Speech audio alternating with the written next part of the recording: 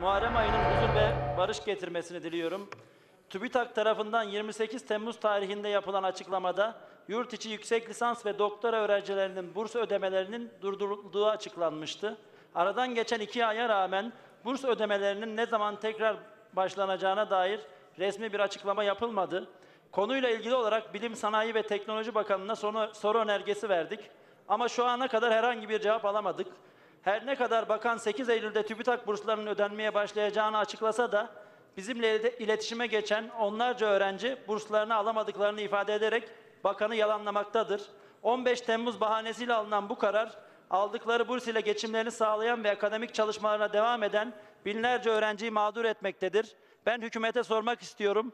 Binlerce TÜBİTAK mağdurunun sorununu çözüm bulmak adına bir adım atmayı düşünüyor musunuz? Teşekkür ediyorum. Teşekkür ederim.